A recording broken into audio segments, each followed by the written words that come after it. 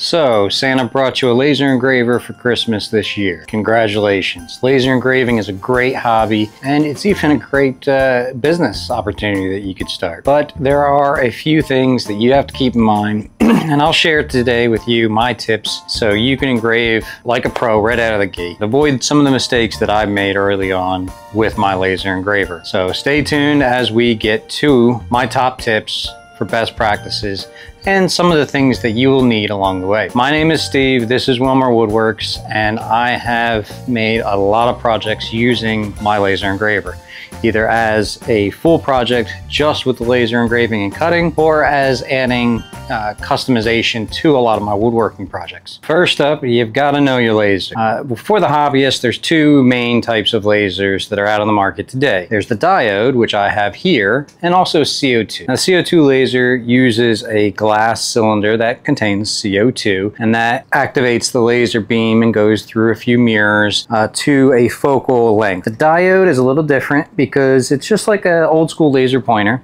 whereas it's just attached to this little gantry. Uh, so there is no back laser and there are no mirrors to adjust. The third type is a fiber laser. Now fiber lasers are, lasers are a little bit more uh, on the higher end scale, so they're not really the hobbyist laser. Now safety is key when you're using any sort of laser. Uh, you don't want to look at your laser as it's working. It's very tempting. And a lot of lasers do put this little shield over where the beam goes but there will be some additional space. So most lasers, when you do purchase them, will include a set of safety glasses. And just like with woodworking, it is always advised to wear proper safety equipment. And remember this, there is no more important safety rule than to wear these safety glasses. Another thing to keep in mind is work in a well ventilated area. My garage, I have the large door open and I always have multiple fans going to push all of the uh, smoke out of my workspace. I will eventually build a hood. I installed this uh, outdoor vent so it will fan and pull everything out. This is especially important when you're working with all materials, not just wood. Uh, some people think, well, just because it's wood, it's natural. You don't want to be inhaling that into your lungs. So woods, plastics, acrylics, leather, anything. You want to be in a well ventilated area. You want to make sure that that plume of smoke is not sitting in the air and going into your lungs. Keep in mind when you do get a brand new laser is most of the lasers will be able to work alone. Uh, you can insert a memory card or an SD card into the laser to run it and operate it, or you can opt to do what I do is I just hook it through this USB, but you will need software to run the program. I prefer using LightBurn software. It's very affordable for the hobbyist, and you can actually get almost a 45 day free trial. I think it starts with a 30 day, and then you can extend that through a few extensions. Um, but even when you do purchase it, I feel I think the hobby level uh, license for LightBurn is about 60 to $90. I know they just raised their pricing. I think it may be $90 now, and that is a yearly subscription, but you do get all the updates uh, for free once you do sign up for that.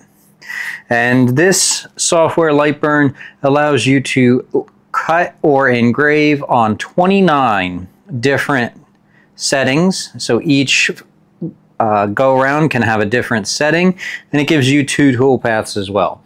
If you need more, they do offer a pro version, but generally the core version is appropriate enough for the hobbyist. Materials matter. Your engraver can work with a wide variety of materials, but as a beginner and a hobbyist, I would recommend that you stick to wood, leather, and some acrylics, depending on the laser that you have.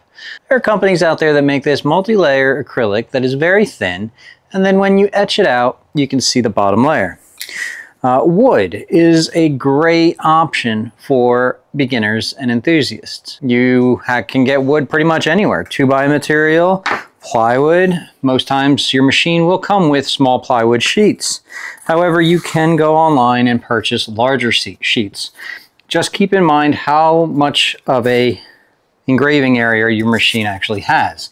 Don't go out and buy two foot by two foot sheets if your machine can only handle 15 by 15. Uh, because you will be constantly having additional pieces in your shop that you're trying to use every last square inch.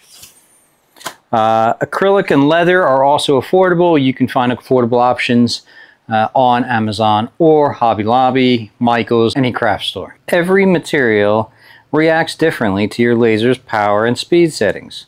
Start by creating a test grid to see how different combinations of power and speed affect your materials. This will help you dial in the perfect settings for clean cuts and crisp engravings. For example, when cutting 1 8 plywood, a good starting point is 95% power at 300 millimeters per second. Adjust based off of the results and don't forget to take notes so you can replicate this success for future projects. Most machines like this Algo DIY kit come with a small tool which is a setup jig. So this has a small little lip that'll allow you to adjust it.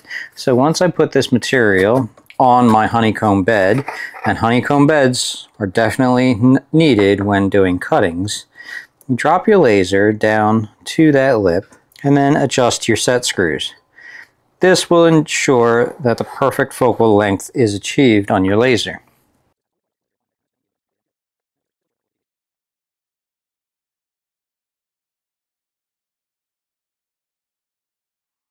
Another important thing to consider is air assist. So on the beginning of this cut, we did not have the air assist on. But as the cut continued, we turned it on and you can see how clean these cuts actually are now.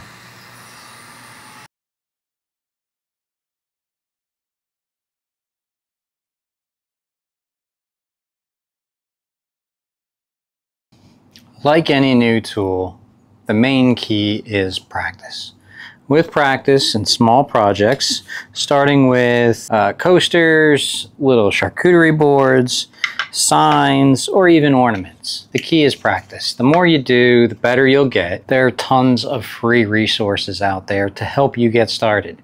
Uh, my channel is just one of many of the resources that you can check out. Um, there are Facebook groups. I have a Facebook group.